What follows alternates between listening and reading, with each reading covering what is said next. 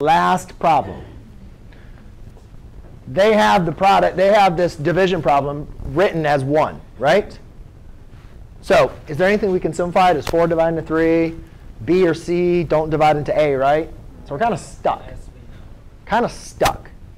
Um, so what we're going to do is when you can't actually divide further to simplify it, what you can do, or what we call simplified version of a division problem, is as long as there's a radical not in the denominator. So basically, if we writ it, rewrote this out here, we'd have cube root of 3a.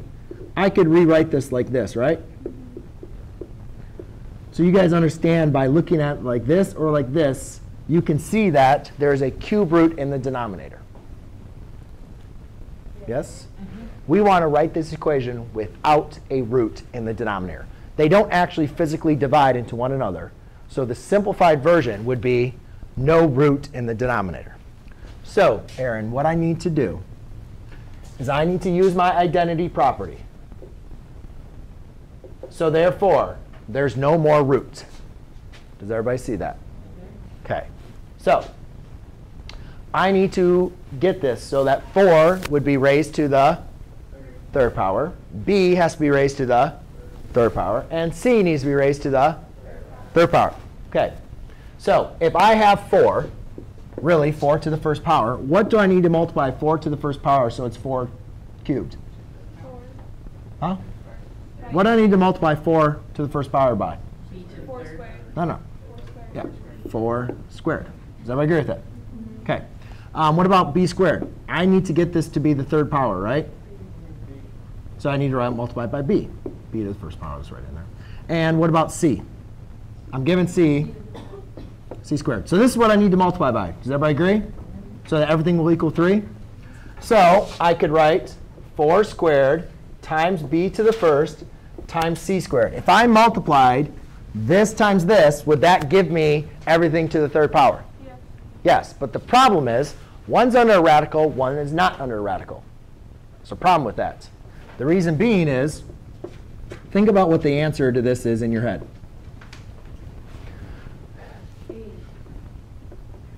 It is not 4 times the square root of 16. Because square root of 16 is what? 4.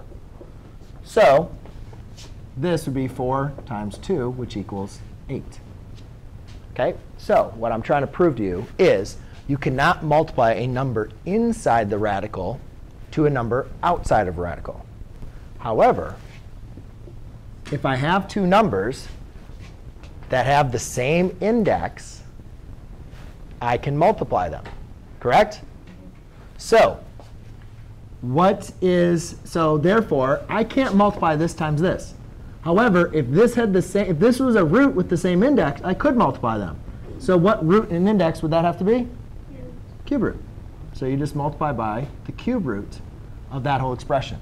Whatever you do in the numerator or denominator, you have to do in the numerator.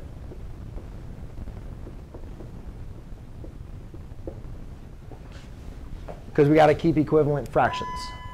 All right?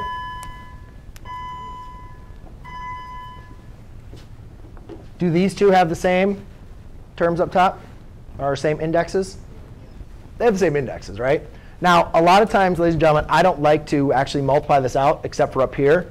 Um, really, 4 squared is just 16. 16 times 3 is 40, 48. And then I have a, um, a, let's do c squared. c squared ab. Because kind of like remember polynomials, highest power, kind of like the right highest, like have some kind of order to it. All right, in the denominator, I have the cube root of 4 times 4 squared is 4 cubed. b squared times b is b cubed. And c times c squared is c cubed. Do you guys agree with me? I could take the cube root of all of those? Yes? So therefore, I'm left with 4bc. So my final answer, oh, no, no, no, no, no, no. No, I didn't. I just didn't follow my steps. Simplify, which we did, right? We simplified. Then apply the operation, which we did. We rationalized the denominator. The last thing is simplify. Simplify. So I simplified this. Can I rewrite 48? Is 48 a cube number? No. However, since I kind of saved time, can I rewrite 48 as a product of one of those cube numbers? 8 and 6.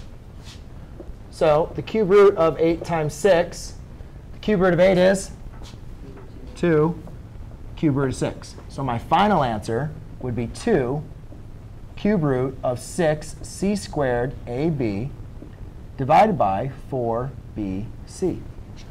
And a student asked me last class period, which is a good question. They said, well, why can't you divide the c's? Why don't the b's like divide out?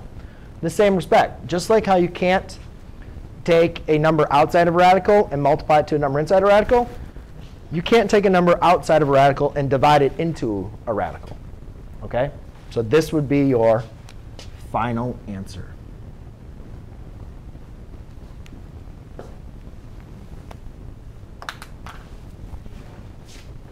What are you expecting? I don't know. I just, uh, I was just